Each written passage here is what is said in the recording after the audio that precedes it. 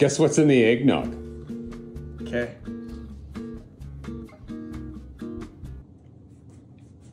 Is it ketchup? Close. I don't know if it's really gross. Thousand Island dressing. Oh, That's disgusting.